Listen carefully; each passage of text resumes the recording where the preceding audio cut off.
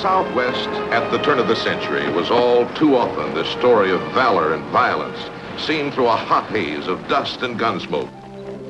But there was also another story, the story of a man whose deeds have largely gone unsung, though nonetheless heroic. A man who rode quietly in the vanguard of advancing civilization.